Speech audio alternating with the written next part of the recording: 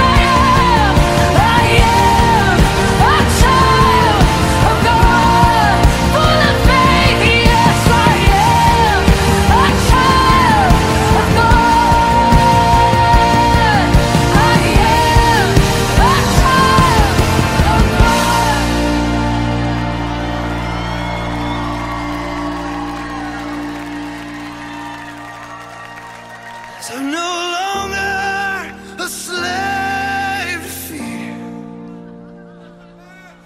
I am a child of God. I'm no